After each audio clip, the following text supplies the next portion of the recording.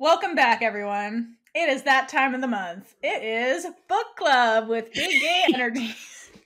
I know where all your brains went and get them out of the gutter.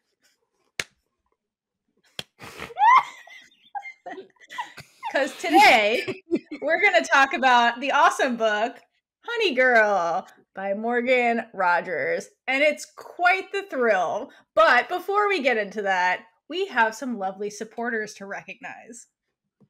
Yes, we do. So we have some Patreon supporters and someone who donates monthly on Anchor. So our December Patreon supporters are Sandy, Cece, Haley, Frida, Lorena, so- Sawyer, and Sapphire L. And Anchor is Kathleen. Our Jen, Woo woo! Yes, very exciting. Now we, have another month because we had to skip a month for book club. We sure so did. January. January, we our supporters are Each Owl, Frida, Sapphire L, Lorena, Sawyer, and Sandy, and Kathleen. Thank, you guys. You're you. all amazing, best. and you allow us to do even more. And we're gonna grow so much, and then we're gonna put on like huge events, and then save bookstores and save the world. World domination! Woo! Thank you. So And that's I- where your support is going. Can I have more coffee before we do that? Yeah. Yeah, we're gonna we're gonna open a big gay energy coffee shop. we should so do that. Oh Lord. You heard it here first, folks. It's because of your lovely support. Sweet lesbian Jesus. I mean, that's just I It's mean, just coffee fully and book relevant. club. It makes sense, right? and energy. And like that's energy. yes. You're right. Bristol, Right. shut up. Sorry. Yeah, Bristol. Bristol wants to get into Honey Girl. So let's get into Honey Girl. So, what is Honey Girl? Well, according to the back of the book, actually, this is a bad, I, I can't transition into this. So, I'm just going to read it. With her newly completed PhD in astronomy in hand, Grace Porter goes on a girls' trip to Vegas to celebrate. She's a straight A, hardworking high achiever. She is not the kind of person who goes to Vegas and gets drunkenly married to a woman whose name she doesn't know. Until she does exactly that. This one beautiful, spontaneous moment upends Grace's carefully laid life plans. Staggering under the weight of her parents' expectation, a struggling job market, and feelings of burnout, Grace flees her home in Portland for a summer in New York with the wife she barely knows. In New York, she's able to ignore all the constant questions about her future and falls hard for her creative and gorgeous wife, Yuki Yamamoto. But when reality comes crashing in, Grace must face what she's been running from all along the fears that make us human and the need for connection, especially when navigating the messiness of adulthood. I love this book. I have two comments. Go for it. sure. One, Theora should do an audiobook. Thank Two, you. all of that's on the back of the book. Yes, it is. Yes, it sure is. I have a picture comment. of Morgan, isn't he cute? Morgan! Morgan! Woo! All right. I have a comment as well. All right. I read the synopsis that you just gave us, and I was like, hmm, well, you know, I could, I could like this. Oh, you know, it's book club, so I have to read it. And then when I did read it, it turned out to be my new favorite book ever in the world. And I want to hug Morgan Rogers for writing it. If she likes Fun- that kind of thing. Fun fact: Bree has been like, I can't wait to talk about this book. Can we talk about the book now? Can we? ta- we did this a week early, okay, from our normal recording. The anticipation, guys. Book is so freaking good. It's really good. Morgan, come talk to us, please. Yes, please. I need this, to pick your brain. This was her breakout novel too. Just FYI, and it's a very powerful, incredible, like first, like big mainstream novel. And Yes. she deserves all the credit for writing this wonderful, wonderful book. If you've ever felt lonely in your life, you will find something so beautiful in this book. Yeah, if you're in your 20s and 30s in this economy, you will relate with this book. Just why we're talking about it. All right. If you so- are a person of color, you will. yeah, and a queer this book. person, the representation A off queer person of color. it's off the charts. So let's dive into the characters, the cast of characters in this book. So first up, we have Dr. Grace Porter. She is our protagonist. The book is written from her point of view. She is a biracial 28 year old lesbian. And as the synopsis said, she, at the point where we meet her in the book, she just achieved her PhD in astronomy. And now, after attaining that, she's looking for her first big job and finding out her life is not exactly what she planned it to be. And that's Grace in a nutshell. And she just goes on a journey after that for the rest of the book. Um, Carolyn Sharon. All right, next up is uh Colonel and Sharon. So Grace's father is uh Colonel Porter. We'll get into all that later. And Sharon is her stepmother. Then we have the wifey, Yuki Yamamoto. So she's Grace's love interest that they drunkenly get married in Las Vegas, as the synopsis said. And she lives in New York City. We have Grace's best friends, which are Agnes and Yemena, who pop up throughout the book. Then we have Grace's found family, which is an actual family. So Mira and Raj, who are brother and sister, and their father, Baba Vihan. And Grace also works at their tea shop in Portland.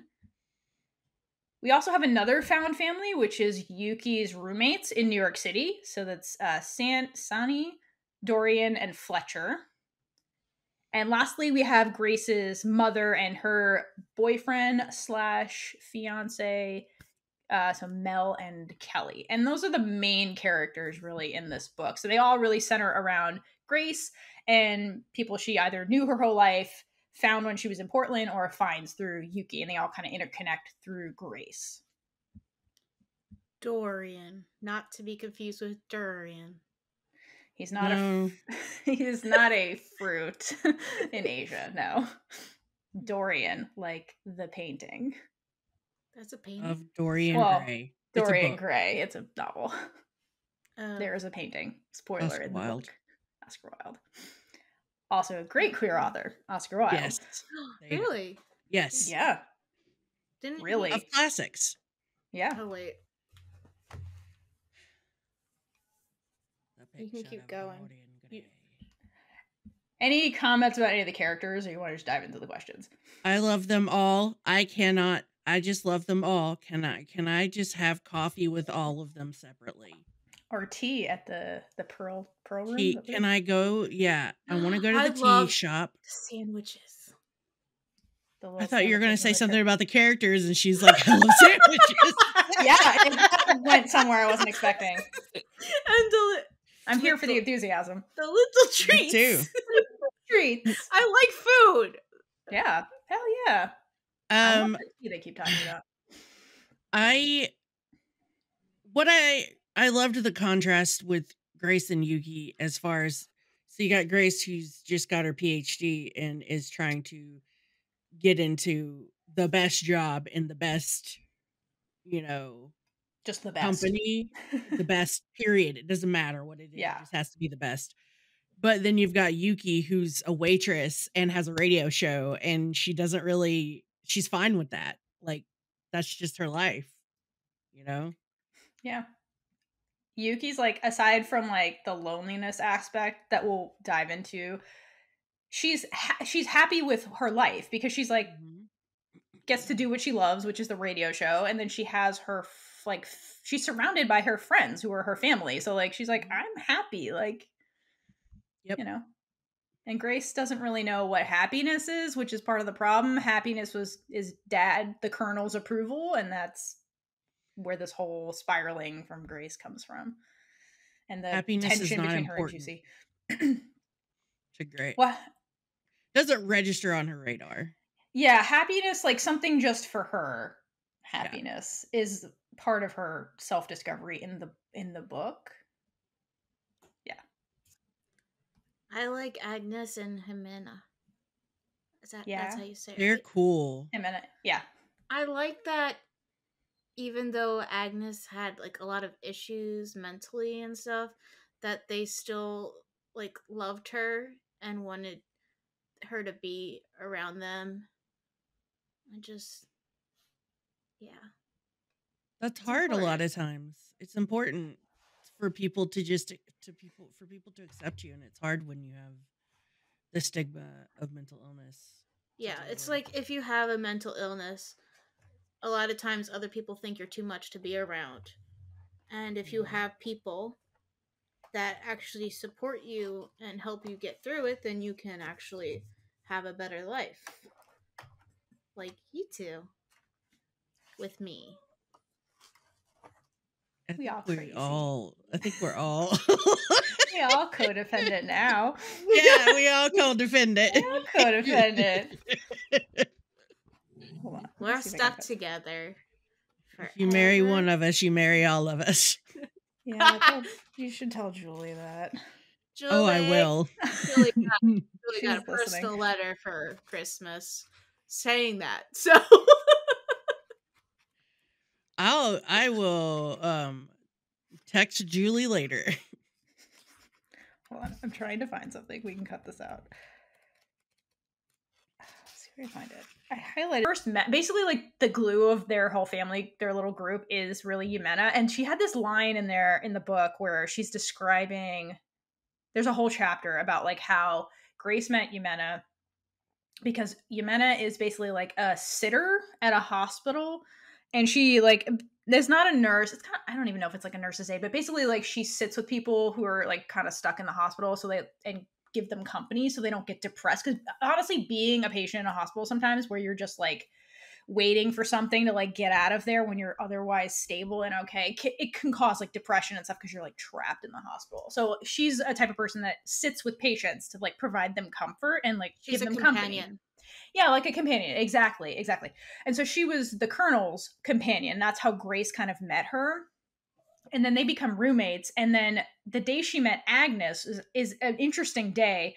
So she got a Yemena got assigned to a psych ward, the psych unit or whatever in the hospital, and basically was talking about Agnes. And the way she described her to Grace, it was kind of like she says something like, "When I met her, it's the same feeling I had when I met you. Like I felt like that person's mind. Like she like Yemena describes it as like I had this instant kind of connection with Agnes and Grace like immediately. And like so she's like I'm not going to give up on her even though like like you said like there's a stigma with like the mental illness and like she seemed like uh she's an abrasive person like you kind of get that she's very blunt she has wa- emotional walls up but Yemena somebody who's like no there's something here we have a connection I feel it I'm not going to give up on you and that's like the core of who Y- Yemena is, and that's a very like important character in a friend group to have that kind of person who's very like The glue. she's, she's like the mom too, like like a like a fierce mom who's like not gonna let anybody hurt her like babies and stuff. Mhm. But yeah, that's so I love that that like she even explain that's explained in the book, kind of like how Yemena views Agnes because it's not what you normally hear as a narrative with a character like Agnes. Yeah, exactly. I really liked it. Yeah, it's great. I also really loved Raj's.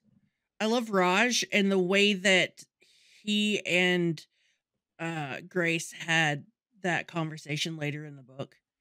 I think that was like a super important About the tea room and yeah. yeah, he's- yeah. Raj is just like he's taking one for the team big time. Yeah.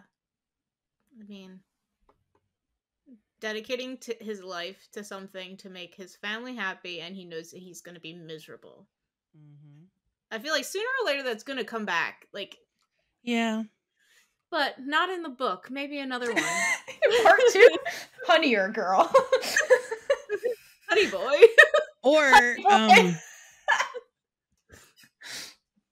it could be about it could you know, you never know. They could write a book Never about know. Sonny. no, I'm saying. All right. Okay. So let's jump into. I have a couple questions for you guys, uh, so that our listeners at home can get a little uh, deeper into this book. So, first question: what is your assessment of Grace's life not panning out according to her big perfect plan? It was bound to happen. uh, I agree. It was inevitable. The plan was supposed to work and it didn't. And that was the only thing that she had been working towards for many, many years. And now she's at a point where she has no idea how to move forward and she's lost. So, I mean, it's like she's when everyone tells her, including the colonel, that it's going to be hard to make her make a place for herself as a woman in color in astronomy. And she knows that, but the reality of it is so much more is so much different than knowing. So you can know something going into it, but once you get there and the reality hits you and people are saying things to you that are very um stupid, racist, bullshit, that kind of stuff, it, it hits you. It, it has to hit you. And you're like, okay, well, I didn't know how this was actually going to affect me. Because you don't. You don't know how things are going to affect you until you're in the moment.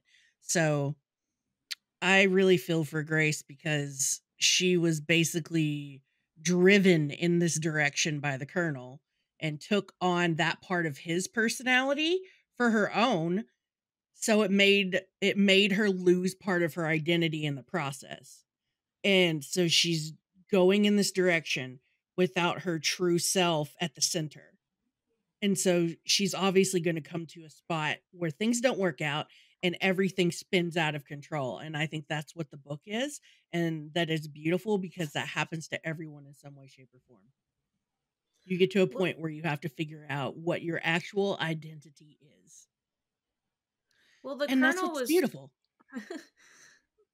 the colonel was uh, pushing her with one plan. She was always working for one thing, one thing only. She didn't see anything else. So anything that changes, she's not going to handle that well.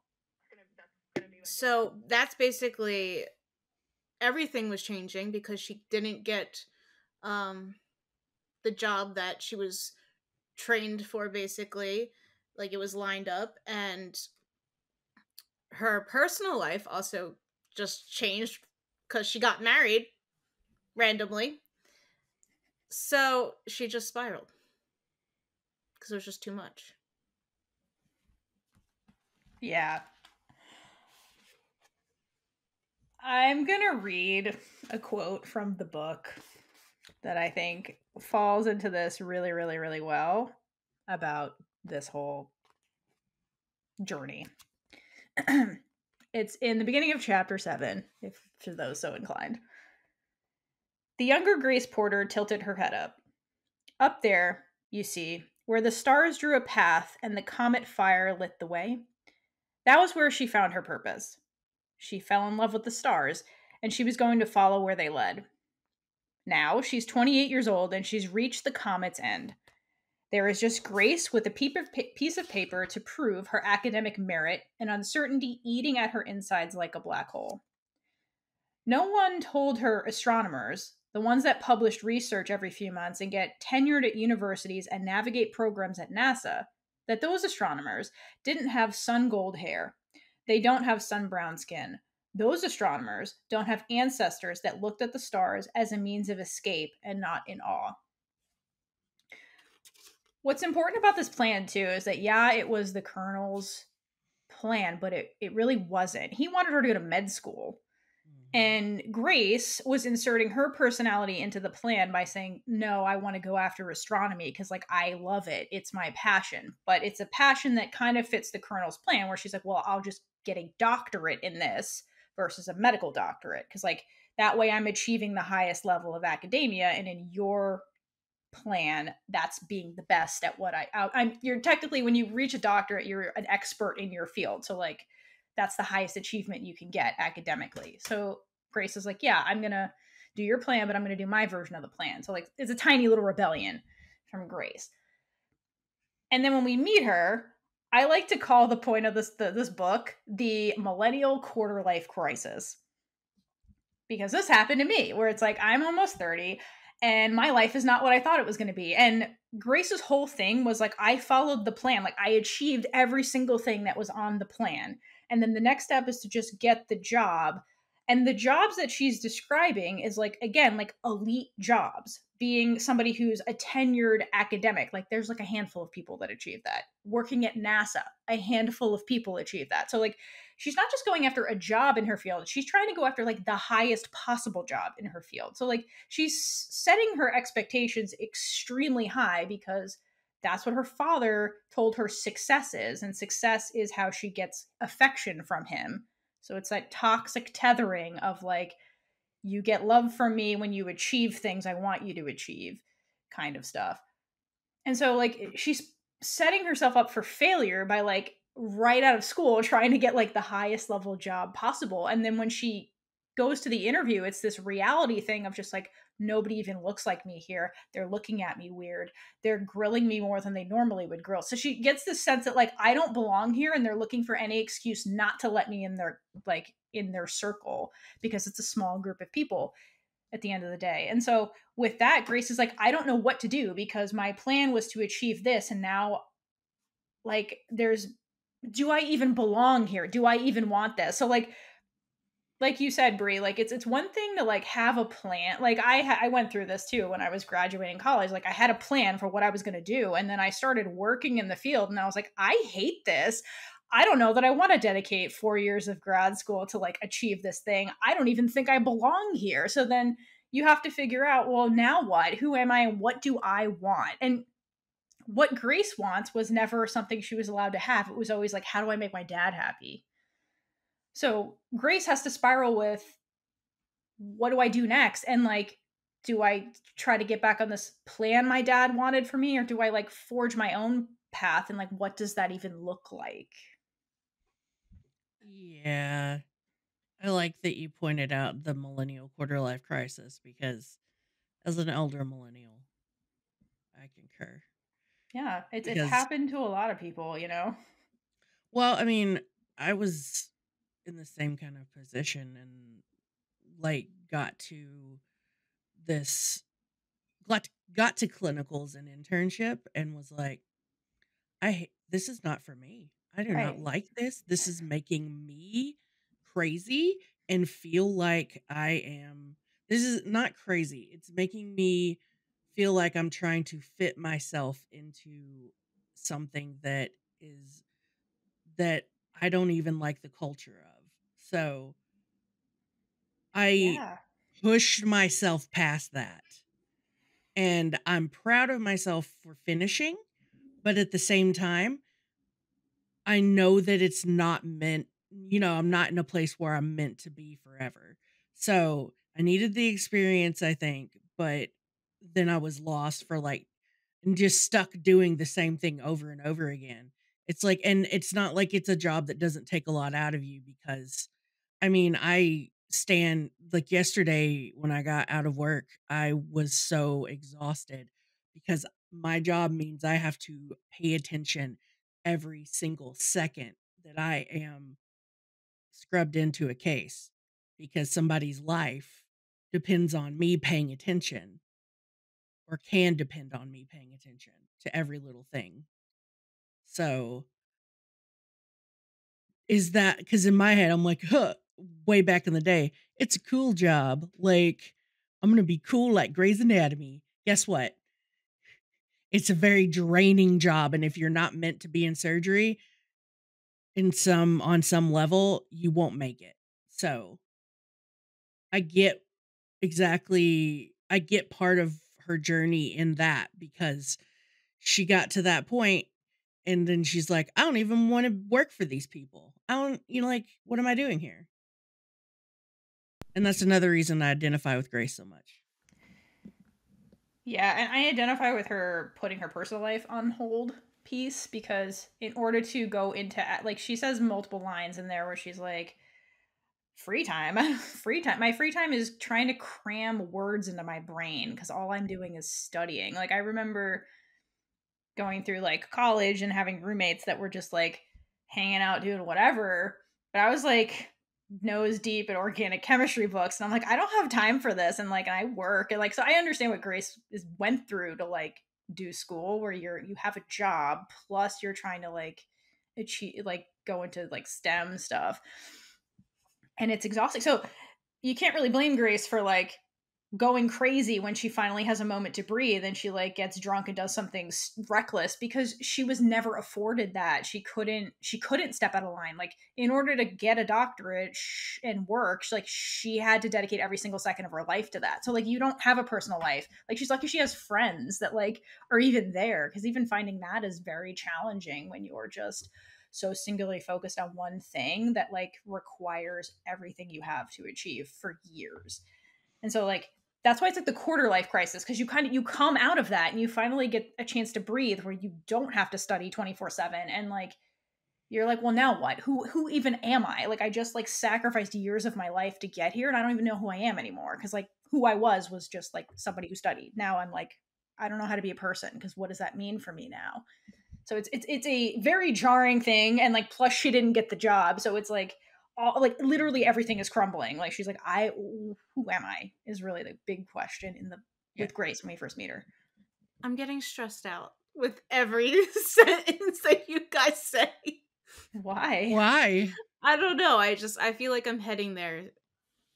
Is it because you're picking up our feelings of the past? probably probably you're heading as into your quarter life Yeah. See, I didn't do the whole ignore this. I I did have to ignore the social life, but I did also go through a terrible breakup in the middle of clinicals. So Yikes. yeah I'm just uh, life's rough. it It's hard to know what you want to do. Like the in between of I really hate this and what Yeah. am I even good at? yeah this is the It's quarter crazy. crisis It's crazy that we're supposed to make that. I'm in it. I think you are in it, Kaitlynn. yeah, and it's rough. And there's no, the thing is, there's no right answer, and it just you got to figure out what's best for you, honestly, and know you. The time of reflection. first thing that I wrote for this question was how do they expect people to pick what they want to do for the rest of their lives in high school? Based Thank off like that career test. You know like how they make you do career tests and stuff? we never did that. We didn't Only- either. I've only Oh. seen it on TV. Same. I'm a baby. Um, we had to do college like readiness in school, so we had to do career things, uh, personality tests, resume. Resume? Did we do resume? Yeah, we had a bunch of shit. Um, yeah. So I think there are some people who got fast food worker. Yeah, which is not bad. It's just I oh god, I'm really stressed. I'm kind of I'm starting to be in an in between right now, so I think I'm currently in it. I'm Yeah. just not as Yep. yeah. But but it works out in the end. It just takes some time, and it sucks going through it. Just like Grace's journey. Just no, you're not yeah. alone. Uh, I'm gonna spiral later, but I'll, you'll get messages. All right, continue. So, question number two. Let's move on before Kaitlynn spirals. All right. Throughout the book, Grace goes by different nicknames. Uh, like Yuki calls her Honey Girl. Her father calls her Porter. Mira calls her Space Girl. Baba Vihan calls her Gracie. What do you think these nicknames indicate about how Grace is perceived by her friend and family? Okay, I made notes. Do it. Okay, so Cheers. oh look, I got the tornado. caffeinating for non-binary Jesus. I think RBG would be into this. RBG would totally be into this. She Okay, so- RBG. Honey Girl, Yuki's term of endearment shows you how Yuki thinks of Grace, the woman blessed by the sun. Yuki is lost in the darkness.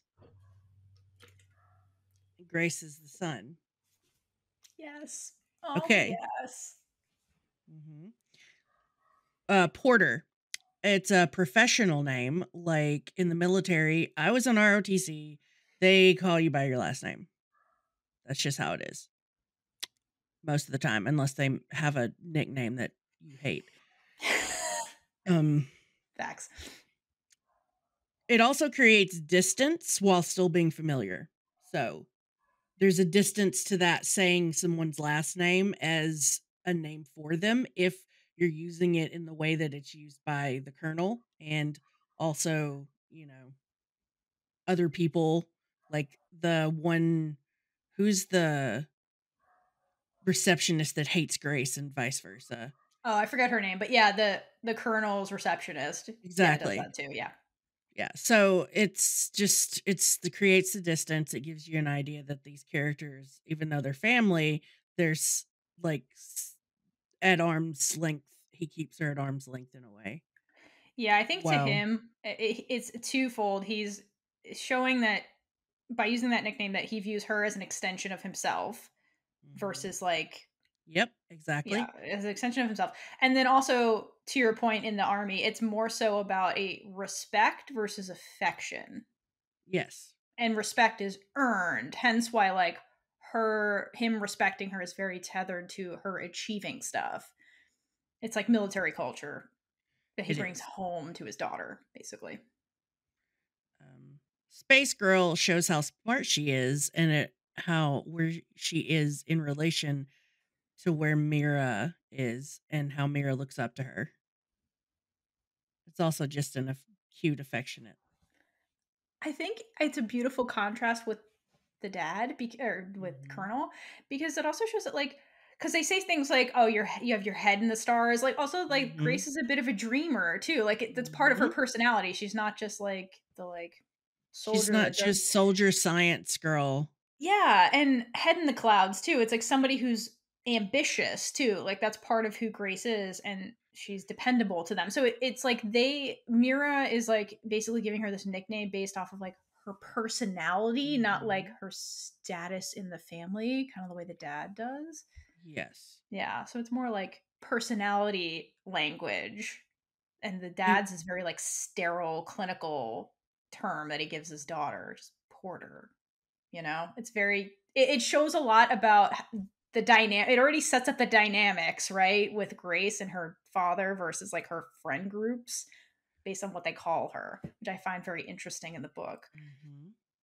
There are several points at which Grace talks about astronomy and how her mentor approached teaching astronomy as an art, not just a science of things in the sky. So to her, the space, the stars, everything is an art form in a way. Uh, uh, Not an art form, but it is art in itself. And also just you you know there's countless things about how beautiful space in the universe outside of earth is so that also is a thing that i loved because i love astronomy for not i took astronomy purposefully as my as one of my electives just because of the way that i loved space and it is romantic in a way. There's a mm-hmm. romantic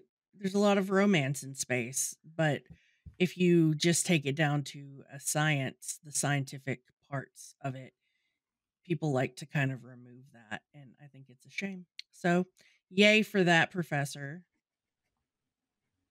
Um and then Gracie, the affectionate term from Baba, shows that she's part of the family and that he's she's just one of his kids. Yeah, like it's like the nickname you he would give his own daughter, and it's like Mhm. a young girl, like an innocent, like she's innocent to him, like Gracie, Yep. like my young girl kind of thing, versus Porter. Yep. Yeah, so it, it again, it shows like how Mira's family really views her as like actual family. Even the father has a nickname for her that's like Mm. a endearing, actually affectionate nickname you'd give a fam like a young family member, like a daughter kind of thing. Precisely. So she got Kaitlynn. I feel like I did this a little wrong. There's no wrong way to do it. What she got? My notes are it's what they know her as. Honey girl, Yuki only remembered her hair. Porter, her dad saw her as his charge. Space Girl, Mira listens to her talk about astronomy. Gracie, Baba saw her as a kid and part of the family. No, you Yeah. got it. You nailed They it. all saw her different ways, which I feel could have contributed to her loneliness because mm-hmm. no one saw all of her. That's Oh, an amazing oh! point, Kaitlynn. That's an amazing so right. Damn. I didn't even think about that. You're right. And Kaitlynn just like Kaitlynn, what the hell? Everyone who's watching this on YouTube, put go Kaitlynn in the comments because holy shit and the mind blow Yeah. You're right. You're right. I think that's an excellent point. And that's what Grace is struggling with at the, when we meet her, right? She's not whole and doesn't know how to be whole. So she's giving parts of herself to all of her different groups. So she's fragmented. Damn, that's such a good point. Motherfucker. Motherfucker, Kaitlynn. it was right in front of your face. What the the hell? That was so good. You're right. Morgan's gonna be so proud of you. Kaitlynn. Yeah. Damn, you nailed it. I feel like you just because I had this in my head. I I felt like she was segmented, but I never put it all together. Damn, you're right. It was right there with the nicknames. Mhm. You, you caffeinate for Kaitlynn, everyone. Just Thank you. holy shit, that was such a good point. Damn. Mhm. All right, the discussion's over. What the? no one's gonna top Kaitlynn that. won the question. Kaitlynn won book club. Jesus. Okay. No, that was great. All right. So we kind of talked about this a little bit. Well, kind of touched on it when we were talking about the nicknames, but to dive a little bit deeper into like Grace's actual like blood relatives or family. So what was your assessment of Grace's relationship with her father and her mother and how did those dynamics influence her life? I guess I should preface this by saying to those who maybe haven't read the book, um, her parents separated when she was 13. Her mother lived, uh, stayed in Florida. That's where Grace originally grew up. And then when they separated, her father took her to Portland and like basically raised her from then point on. So like, yeah. Her mom was gone a lot, right? Like, yeah, yeah. okay. yeah, So Not I a feel- constant. her I feel mom. like- bas- go go go. Sorry. Um, because it was her mom's choice to be away, right? Mhm. Mom was trying to find herself because like basically mom was doing what Grace is doing, but her own Yeah. version of that. She's like, I don't know who I am. I need to figure that out, kind of thing. Grace growing up. Bristol, shut up. Sorry, dogs. Um, Crystal really loves book club. She did this last Mhm. time. I feel like her mom choosing to be away affected her thinking that she was basically abandoned by her mom. So she wanted to keep the colonel happy no matter what because maybe she was worried that he would also leave her. totally. Absolutely. Absolutely. Yeah. That like abandonment trauma, essentially. Um, I think that the found family and and friends are where Grace finds real like affection, acceptance, and actual love, like tender, the tender type of love, the Mhm. support, and that those friendships are stable even if there's conflict but her relationships with her blood you know her mom and her dad were never stable because she was always afraid to lose the colonel's respect and approval um her mom was always going off uh and away so she lacked that stability with her actual family and had to find it elsewhere which is sad and also the case for a lot of people i'm sorry i'm fighting a cat that's biting me I have a Oh. dog next to me asking for pets. Uh, just because my brain is confused a little, Bree, are you on number four or three? oh i fucked up I mean, what you were saying was kind of relevant to three. But as soon as like she said blood, fa- blood Yeah, and I was family and all that, I was like, yeah, she's no, on four. that was my bad i'm sorry i went down too far That's my okay. note was mother mother thank you kaitlynn my notes on three are mother's incons- inconsistency caused a craving for stability and order And the colonel's strictness and distance gave her stability, but also stiff ideas about what it means to succeed and affected the way Grace moves in society. And with her friends, and even affects the way that she relates to her friends. There's a passage in the book that I think sums this up really nicely. I think it's towards the beginning. She says, with Colonel's voice in her ears, urging her forward, she'd grappled to the top of this mountain, which is getting her PhD. Mom urged her to follow her dreams, so she chased the stars. She poured blood, sweat, and tears into her work, and here was the proof. Here was her vow of success to Colonel completed. So I think she had pressure to be perfect kind of from both parents, but it m- was manifesting a little bit differently where the dad at the colonel is basically like be the best. Period. And end of sentence. And mom was like look, be the best, but like f- do what you want. Like follow your dream, like not our dream kind of thing. So again, Grace merged the two and that's where she's like PhD astronomy. And then when she gets the PhD, that's the vow to her father. Like you said, whereas mom's not really a factor anymore. It's more so about pleasing her dad, like you said. So that's probably from like the detachment from her mom kind of thing. Um, but the I think the dad raising her and being military man, like imposed on her that toxic, rugged individualism that America is grappling with, because this takes place in in the United States of America during this time period where this is a big problem. So because of that, Grace is always like, I have to solve. Like like anytime her her friends are trying to point out to her like take a break slow down. She's like no no no this is my problem i'll solve it i have to fix it. Like it's me me me like it's all about her the individual not like lean on your community when you can't like when you need help kind of thing. She's being forced into like you have to have all the answers you have to be the strong one you have to be the dependable one because like that's what her dad's whole mentality is that's army mentality like so it imposed that toxic rugged individualism on him and and i think that that lack of like having community in her own family like really there's no better manifestation of that than the fact that she never calls her father dad she calls him colonel like when she was little there's like language in the book where she's like when i was young and i like fell off my bike or whatever i called him dad but like I think after the separation, it was Colonel, Colonel, Colonel, Colonel. Like it, it just like it's almost like she doesn't really have parents. She has like I don't know people to please versus like people who support her for who she is, kind of thing. Yeah. So I think that set her up for like making this whole mid quarter life crisis thing she's going through even worse because she won't seek help. Like she's just like, I have to figure it out. It's my problem. Like, and then she learns the hard way that she doesn't have the answers like you know so i think that that what her father imposed on her and the mom abandonment thing it made her situation worse when she like fell into the current situation. Yep. It's yeah. an, she's an island in a way. Yeah exactly. She is an island. Yeah.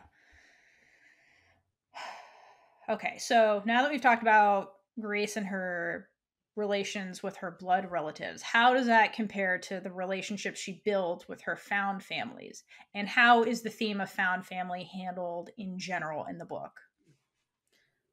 Um sorry. The book shows that you can always rely on your found family to be there when you fall and will be waiting for you when you need them even if you've been gone for a while because they care yeah. about you and they love you. Found family is like one of the most important things in a person's life, and it especially, I think, applies to people in our community. Uh, yep.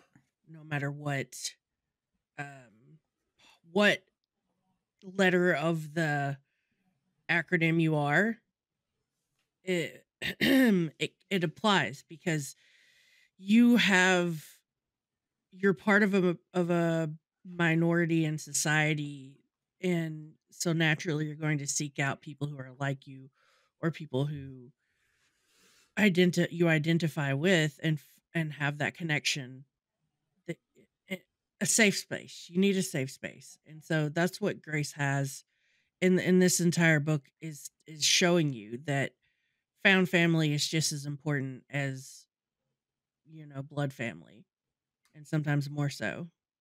For some people it's all they have and that's one of the biggest things in this book that i find beautiful apart from the relationship with grace and yuki is the relationship with grace and every other character. There's no character in here that i disliked even the colonel i didn't dislike him i understood where this was coming from but I was sad for Grace because of how he treated her.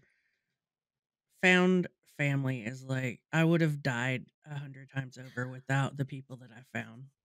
The issue is that the colonel did do stuff that he thought was in her best Mhm. interest, but he never explained to things like walking out of the graduation when he finally explained it to Mhm. her, she understood completely. But he wasn't used to communicating, which is also probably why they got a divorce, by the way. Um Yeah, totally. so she didn't feel loved. Yeah. He, he was his expression of love was like I did all the things to like make sure you had opportunities, but never gave her like affectionate support, which is the other facet of love. He's like I did love through actions to make your life easier, but like never gave her like the emotional support. So she found that in other people and that's like the mm-hmm. found family part like the like Baba Vihan's family. Like they're just like love and war- and like they're just affectionate and bubbly and they're like, yeah, we're here for you, like whatever, like little Gracie and things like that. So like that's like the family she never had that was like together and you know they went through their own thing with the mom and that family passed away and things like that. But you know they were there and then like Ximena is just like uh, she's like a pit bull in a way. She's like like cute and cuddly, like if you're on her good side, but then she will fiercely fight for you kind of person. And that's who Grace really needed because somebody in her corner that like is looking out for like her actual interests and like sees through her and like knows when she's like upset and whereas the colonel, like there's no communication, like you said, Kaitlynn. So sometimes found family, like other people with different perspectives who come from different groups, like can offer different support than your own blood relatives who are have their own agendas too, have their own problems going on, and you know, don't communicate well. And I love that in general, I love that Morgan showed found family in different ways. So it wasn't just like it's yeah, it's a book about a queer character, but it wasn't just like the queer group. It was like just like again like Baba Vihan and Mira and Raj, like they just adopted her as part of their family, like you know, and they like they're coworkers, but they're more than that, and and like that's a found family in and of itself. And then Yuki had her own found family too, so it goes to show you that like it's it's more of a universal thing for people, especially you know people of color, especially minorities in general, because like a lot of those groups are minority based groups who kind of mm-hmm. band together, or people of circumstance who band together, like Ximena grabbing Agnes, grabbing Grace when Grace was like struggling. That's kind of what Ximena did. So I like that it manifests in different ways, and I love that she really put that into the book. That it's not just found family can manifest in many different ways, but at the end of the day, it offers support and love that people as like human beings need. Like it's a vital part of being human, and it can manifest many ways. It's really special when you find it as well. Mhm. Because especially if you're not used to having people Having like that. that around you. Totally, totally, totally. Um, and that's another reason why this book is now pretty much one of my favorites ever written because I have this thing where I will go look for queer books and I'm reading it for the queer content. But I read this book and I didn't read it for the queer content. I read it for the everything. And that's when I know that a book is really speaking to me and be and is special to me because I will say this, the freaking the writing, the prose, I can't say enough. And at the same time, I can't say anything because it's too awesome. Morgan, write more books. Please. At your own pace because I know yes, how please. They're so is. Yes, yes. Take your time, but please write other things because you're stupidly talented. Mhm. All right. Speaking of the gay, let's talk about it. What is your assessment of Yuki and Grace's relationship and how it progresses from start to finish? Theo and Bree already got a taste of what I think. Do you want to start or would You you, like me start? to Yeah. start? sure. I don't understand it. Um I don't know. I feel like they should have been more concerned that they married someone and didn't know who they were and didn't really know how to contact them and you know, you mar- you're married. Find them quicker. It is weird that never once in the book are they ever like, we should probably annul this. like they never like Yeah, no, it like, is just like, weird. I filled it out before I talked to you, and then I ripped it up as soon as you contacted me. Like, yeah, it's it's kind of weird. I'm not gonna lie. It is No, I'm kind like, of like logically maybe weird, but get annulled, then you can date. I mean, like, go ahead, date if you That's want what to. that's but, what I thought was going to happen in the book, and then it never happened. and I was like, all right, But okay, sorry, I this just is a went with it. And Grace just ghosts her for like, I don't even know how long in the book. Months? It must And be then the last three pages, the, everything is fine. Like the serious conversations that no one likes to put in, like we need that because people just think everything's going to magically be okay. I agree. Okay, but I will say this: n- everything was not okay. Like they know everything's not okay, but they're going to try to work through it. That was the end of the book. We're going to try this, even though you fuck you fucking ghosted me. I'm willing to give you another shot. That's Right. what the ending was. It wasn't I we're happily ever after. This isn't Disney. No, I just hate when things like end in like the last few pages. Oh, I I kind of love it. I love unresolved endings because I'm just that kind of person. I don't complete sentences. Then you can like think about where it goes after That and also just Kaitlynn the just wants the end. See, I thought of something in my head, but it's gonna it's gonna sound bad. Did they why try to murder each other, Kaitlynn? You're on the right track. No. I know. I know how your brain works.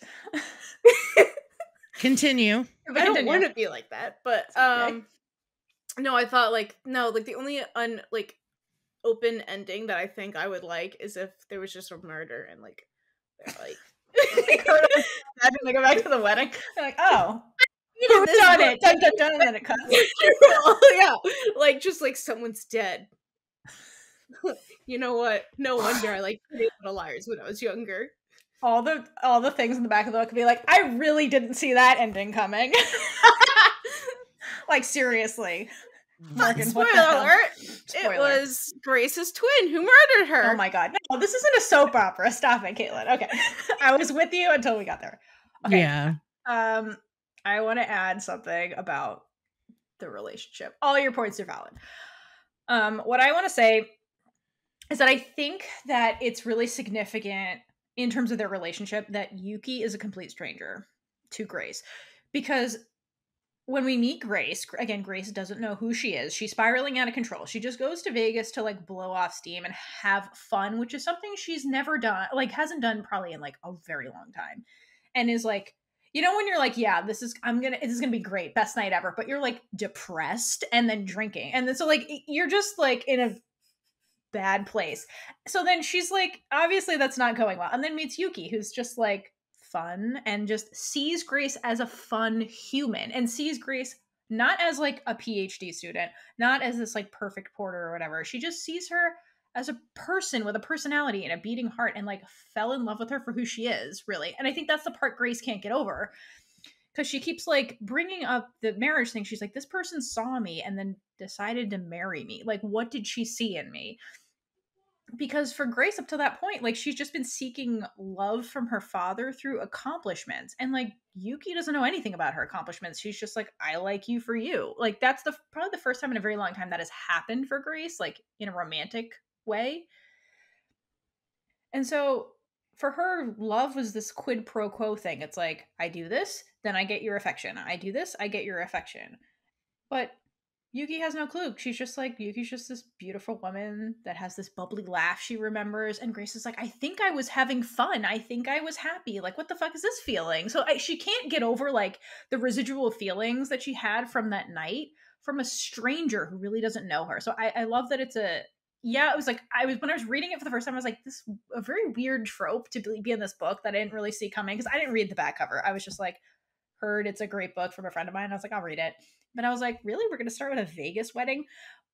But now having read it, like and, and seeing Grace's journey and who Grace is, I think it it made sense for her because she was just a very tightly wound rubber band that snapped. And like, yeah, somebody in that position who's like flailing and is depressed and is drunk would do something like this where they're just like fuck it i'm having fun for the first time in forever i never want this to stop let's get married right and and grace for a lot a lot of the time she's like holding the key they lock the keys on like the fake bridge or whatever in yeah. vegas yeah and and clutches the key and always is, is like hesitant to tell people about it because she's like this is mine like for for once i did something for me that made me happy. It wasn't part of a plan. It was just for me. And so I think that it's so significant that Yuki is just a stranger who's not part of any of this, who saw Grace for just who she is, not a set of accomplishment, not a doctor. And I think that's the thing that really stuck with Grace. And I think that's why she never really was like, let's end this because I've never had this. I kind of want to know what this is, kind of thing. So I do like that. And they're both pretty mature actually about just like let's let's see where this goes. Like it's never like weird. I mean, there's weird. Yeah. It's a little bit weird, but like it's it's not like the way they communicate and stuff is actually pretty good. It's just when Grace spirals again, that's when it's because it's like Grace never act, went to New York to explore the thing with Yuki, but she never dealt with her actual problems. She just was running away. And so when it catches up to her, and Yuki is the one at that point who's like, listen, you came here to be happy. Like, you found that you're a good teacher. Like, why don't you pursue that? And Grace, again, can't reconcile the path thing. She's like, no, no, no, being a teacher is not the best. Working at NASA is the best. Like, I can't, that's not the best. So I can't have these two things. Like, I can't, I can't merge these things. And like, Yuki can't get through to her because like Grace has to go, has to like figure out who she is. Like, that's the main problem. And so. That's a punch in the gut, though. It's basically told Yuki that you're not the best for me. Yeah, exactly. Because Grace is too. It, she, yeah, she's too much about Grace and is not I, seeing Yuki. Yeah. If I was Yuki, I'd be like, "Bye, bitch." no, like this is too like that. Nah. Um. Also, well, would have get an annulment right away. Just saying. You also have to like take into account that this is we're we're at the love at first sight love at first sight trope kind of thing and this is like this is like imagine me and you without us being able to see the click yeah you just get so, this hazy memory exactly but that all to me makes it even kind of more attractive as a story because there's a, a veil of mysteries around it and i think grace needed that mystery and needed needed the journey so I, I but if you like you look at them as characters, they're very good for one another because they have this mixture of differences and similarities at the same time. Um, and I just feel like Grace doesn't know how to love, and and Yuki doesn't know how to communicate with Grace about her, like doesn't know how to get through to Grace because this is the part where they are fundamentally diff- different and don't know each other on these levels yet. Yep. So I don't, and I feel like the marriage thing that happened, but I don't feel like it's as relevant to what they're doing afterwards yes. because they are just dating basically. They just are, they went about it backwards. Is what they did. Yeah, no, totally. Like, yeah, it's a little weird, but yeah, mm-hmm. exactly what Bree said. But They're not like your wife shut money. up and like in the kitchen or whatever. It's nothing. It never gets weird, you know. Like it's just like that was the Yuki, catalyst for the meeting, kind of thing. Yuki is a little weird, and she needs to be to keep totally. Grace's attention and to.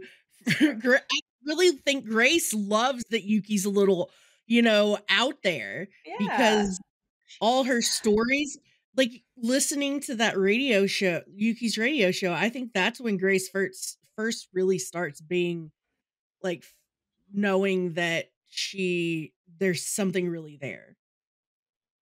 Like fundamentally they meet each other on a level that transcends all of their differences. Um and then I th- thought that despite getting married on the night they met that their romance progressed really well. Like I liked No, the I- pacing. Totally. I agree. It's like an ass backwards thing, but like, And Yeah, like I- but it's genius in a way. yeah. Morgan I know. That's such a good story. All right. So speaking of the radio show, so what did you think of Yuki's Lonely Creatures radio show? And why do you think Grace and so many others are drawn to this program? everyone feels alone. Everyone feels lost at some point in their life, no matter how many people you have around you. You feel like people don't see you.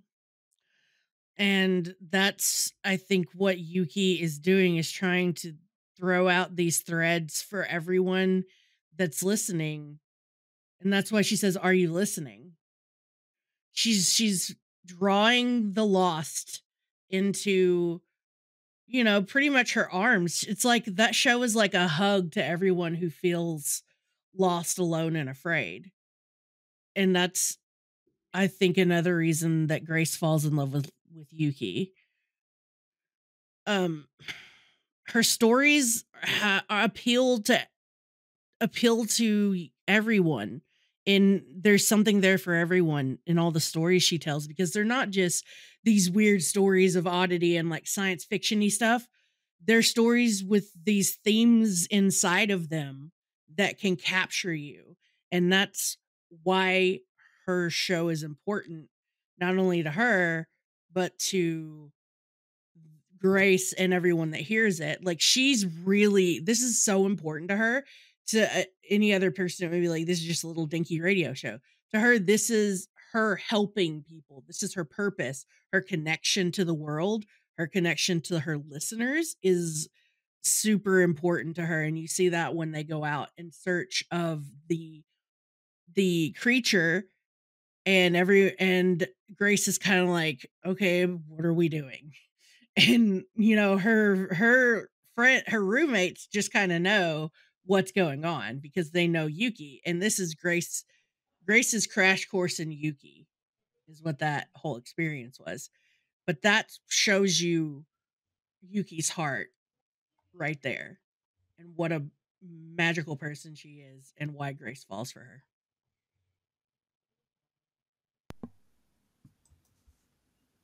That was so well said. Do you have anything to add, Kaitlynn? I lost you guys. I found no. you. Sorry. No, it's okay. Um, I said that tuning in every week gave people a sense of community, and that I hope it's something that we do as well. Are you guys listening? Are you listening? Are you still awake? Are you still? It's been an hour. Wake up. Yeah, it's been an hour, guys. It's been an hour. Uh, yeah. So I agree with They all that. I agree with all that. Um, coping with isolation and loneliness again is a universal human experience. The other thing I want to add that you guys haven't already talked about is the fact that she talks about monster stories. And I think that another thing to kind of pick apart there is she kind of talks about, I think she has conversations with Grace about this too, about these monsters. And it's like, is a monster inherently evil versus misunderstood? Because I think that's important when people feel lonely, isolated. Like, am I the monster or am I misunderstood? So it's Mhm. it's another way people can kind of resonate. And I want to note that like initially Grace is resist the woman of science is resistant essentially to these stories. But it's really worth noting with Grace that the entire time, like she's been chasing her astronomy dream, she's been telling herself this story. Like she uses language in the book that like I'm made from the galaxy and like destined for greatness because of that. So she's been like telling herself her own version of like a monster, like fairy tale kind of story, like Yuki's been talking about, but doesn't like she like it doesn't reconcile those two things that like i tell myself stories to make me happy but then yuki telling stories is weird at first because i think she thinks that her story about the stars and the galaxies are more tangible because like the stars and the galaxy are real versus like these monsters that can't be real but like you said Bree, the whole crux of it is that it's not really about monsters it's about connecting with people and like providing them like I guess love and support kind of that when people feel lonely because like the one person who's like, "Hey, no, I saw this monster. It's totally real," and Yuki goes out of her way to go check it out because like if that person believes in it, like it's important that I believe them too and like check it out. That's like camaraderie with my like listeners. So at the end of the day, Grace gets it. Oh, okay, it's not really about believing in mythical things. It's more about the community you build with the people with the shared interest thing. So to Kaitlynn's point, I hope you get that from this podcast too. Exactly. All right. So Grace, um, throughout the book, is basically in three different places in the United States. She was in Portland. That's kind of where she grew up with the Colonel since she was 13. There's New York, which is where she goes to be with Yuki for a bit, and then she ends up in the Grove in Florida. So, how does her life in those three different areas compare and differ? I got a short and to the point answer. Okay. Portland, real life, shit is hard. New York, pretend life, only staying for summer. Like she didn't have any responsibilities or cares. Like she could just be with Yuki and get to know her. So it wasn't real life. And then in the Grove, she resorted back to childhood. And I feel like she needed to go back to because her childhood is when she was on that path. So she needed to go back in that space to really find herself. Well said. All right. I have Portland. She has expectations and people she's used to being with, people she knows. Uh, Florida is where she's going to complete the chap this chapter of her journey because this is just a, we're getting a snapshot of her life, just part of her life. So this is this is that journey that we're going on with her. This is kind of like the end of a journey that we see in Florida. She's reestablishing a relationship with her mom. She's learning how to just be and not move toward a goal all the time. Um, the, a goal that's not even doesn't even really translate for her because the pinnacle of success is something different to every person and can be as versus what's the pinnacle of success in society because sometimes society is bullshit. But hey, whatever. I mean, most of Um, it, yes. Yeah. New York is that beginning of her finding who she is and who she is with Yuki and who Yuki is. So that's just kind of really gets things going in New York. And she actually has time, time, the thing she'd never had before to just experience. Because the only thing she's experienced before this is going towards that goal. And now she's like out in the wind in a way, is basically what it is. And whatever is coming, she's experiencing. So, Yes, yes, yes. I agree with everything you guys said. Portland for me, that's where she moved with her dad. It's the setting of her anxiety. Like Portland is just anxiety, responsibility. It's I the felt stage. it. Yeah, like you feel like when she's in Portland, you just there's the anxiety. Like mhm. that's where the plan started. The plan is falling apart. This is just anxiety. So like Grace needs to get the fuck out of there. yes. The Grove is this simple, isolated place. It's, it's down to earth, right? Literally the earth, Literally right? the earth. Yeah. Literally. It's where she, as a child, was like, she when she remembers the grove like not even before she gets there she remembers it she, she talks about how like sh when she was there she used to just climb trees and just like watch like she had time because she was a child with no expectations there she could just sit at the top of these trees and smell orange blossoms and like watch the harvest and just like exist without anxiety. So like she remembers the grove fondly when she thinks about it, not when she's physically there. But then when she goes back at the end, it's a reconnection to her roots, like you said, Kaitlynn, because she has to reconcile who she is as an adult with responsibilities because you cannot run away from them. You have to, unfortunately, deal with them. That's why being an adult sucks. But she's trying to reconcile that from when she was happy as a kid with no expectations, right? So, like, she has to go back there to complete the cycle of, like, how do I reconcile happiness and being an adult, right? And so the middle road is New York City, which is the complete opposite of Grace's plan, New York City, right? It's this brand new environment where Grace is initially super uncomfortable, right? Because being in a new environment where you don't know how to navigate it is scary, right? She even says to Yuki a few times, like, says like, "Oh, um, she scolds Yuki for walking to the radio station alone at night because she's like, it's dangerous here, and like, because like it's a new place, it's scary. Like I've heard, I've heard whispers of like dangerous people and stuff. And Yuki's like, I've been living here for years, like it's fine. So it's a inner monologue of like Grace just being afraid of being in a new environment. But over time, like New York City kind of becomes this safe haven for her a little bit. Like the apartment itself, Yuki's roommates, she starts bonding with them, right? The recording studio, they become familiar places because she's like on her own navigating a new place and like finding her own like role in that new environment. So it's, it's showing Grace that like hey, when you step out of your comfort zone, when you go onto a new path that you have to pave for yourself, you are capable of navigating this by yourself. You just have to like breathe a little, give yourself a chance. And also like she has people supporting her, right? Yuki and the roommates and all that stuff. And I think it's really significant the impact that like this transition place has on her because when she goes to the Grove later, the first thing she notes when she's trying to sleep is the absence of New York City. Like she's like, there's no I don't hear the heartbeat of the city. I don't hear like the street noises, like the sound of life and opportunity. Like she recognizes that like I can't escape to my childhood. I miss that place that was new, that was mine, that I was navigating. So I think it's more than just like Yuki herself. It's like symbolizing Grace like needing to get out of her comfort zone and go experience a new place.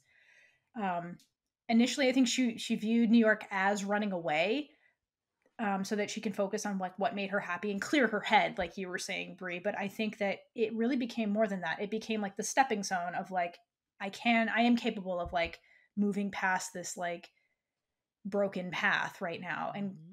Carving my own in a new scary place I'm not familiar with. And like the other thing I think she learns too here is that like I can, it's okay to let other people take care of me. Because I think that's the other part of Grace where like again that toxic individuality that she has where she's like i have to navigate this but in new york she doesn't she has yuki to guide her around the roommates are there to like greet her at the end of the day so it's like she learns to lean on other people and that it's okay to like be in a new environment basically so i think i like the way morgan did that by like putting the character in physical different physical locations that are yes. starkly that are very different from each other too like new york city is very different than portland which is very different than like southern Florida, you know? So it sets a good stage in like Grace's transition and like the full circle that she goes through.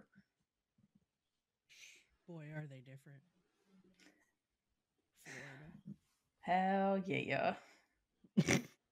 All right. So, what did you guys think of the representation in this story? Beautiful. A plus plus. Even the side characters felt like they were flesh and bone. Like you could grab a hold of them and just like experience them. That's rare for me with books because usually a lot of side characters or, you know, supporting characters feel two dimensional, and these did not because I wanted to be friends with them. and I'll never um be friends with them because they're not real. I know. They're real in your head.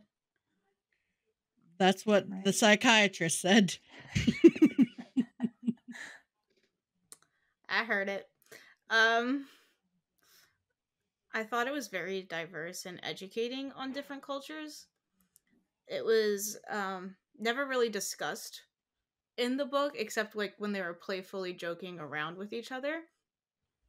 And I really like the scene with Grace and I think Dorian when they were doing like the protective hairstyles mm-hmm. because oh, yeah. that's something that um unless you are in that culture. I don't know the right way to say it. Um, but you don't understand that. So it's Mhm. Educating people who don't know that.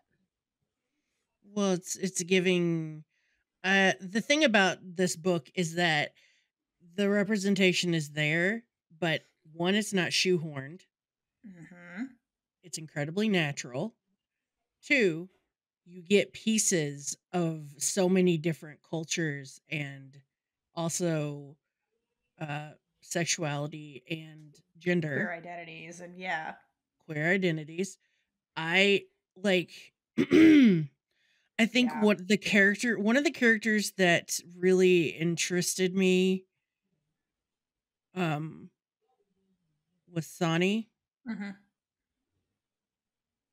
I want to know more. Like I want their journey. Yeah. Totally. I just I want to know that I just I want a book about Yuki's life before. seriously, Yuki's whole found family is incredible. Yeah. And I want know- those are my favorites. I want a book about Agnes, Ximena, and Mira. Yeah, no, that, would be amazing. Oh my god, that would be amazing. Can can there just be like a trilogy I know. of these books? Uh, We're like deciding Morgan's life right now. I'm That's sorry. this is We'll- we'll step by off. no, but really, uh, a, like it's off the charts. Just the representation in general. So again, there's a ton of different cultures, and the way she writes it is just it's fleshing out the character, and it's it. I love the way she does it in really subtle ways, like when they're in the tea room and talking kind of about the tea, and you can you get the sense of like Mira's culture, like from how their conversation. It's it's not again this like shoehorn thing, uh, Bree, like you were saying, and like it's just it's natural conversations that like flesh out their cultures, that flesh out who these people are, their values, and things like that. It makes them people, right? Because they are, and and I love that she has a variety of different cultures and like people of color in this book, and the way she wrote them all was just so masterful there's so many queer identities in this and the other part i want to talk i I think is worth mentioning is there's different family structures throughout this book too. Like you have you know step parents you have the mira's family with when the mom passed away you have like yumeno or you know really talk about their family and like yuki never talks about her family they just they have their friend family and so it just goes to show you like you know humanity in different manifesting in different forms and i think it's so beautiful the way she did it everything is very natural so it's just it's the best representation i've ever seen in a book like Me it's just- too. it's incredible it's so good I just want to make every white person I know read it. it's so good it's fucking good yeah it's so good I all love it. i love it love it love it love it so that brings us so that concludes our discussion but before we sign off how much big gay energy does this story have on the lesbian jesus hydration scale You go first, Kaitlynn. Okay, so what I have written, you're gonna hate me. No, I we're not. five. That's fine. okay Um, but over the course of talking and making myself get out of the headspace of the main relationship, I decided to give it an eight for representation in general. That's fair enough. totally It actually Yeah. went from five to six to seven to eight in the past 15 minutes. That's amazing. the power of morgan Yes, exactly. The power Mhm. of representation as well. yeah Yeah. I Yep. will go next since Theora this is the Theora's book, so she should go last. And mine is The Infinity of a Black Hole, Cups of Water. she gets the milky way no seriously if we had to do it on a scale of 1 to 10 i'm getting giving it a 10 but 10, uh 10, 10. Bree's answer is perfect. Literally a black hole. Like it's the the, the limit does not exist. Honestly, I mean, it works for this book as well. Yeah, like, that's what she exactly. said it. Yeah. No, perfection. Honestly, this has some of the best representation. Period. Like th- there's more than one queer character. They are all handled really well. The representation period, the writing, the journey, like ten, this if you seriously if you haven't read this book and you're just listening to us, please go read this book. It's really an easy read. It's it's fantastic. It's not that long either. It's really not that long. It's like 200 it's 200 pages like honestly. Like it's really not that long, 250. I think I finished like- it in like four days because I read Yeah. half and half.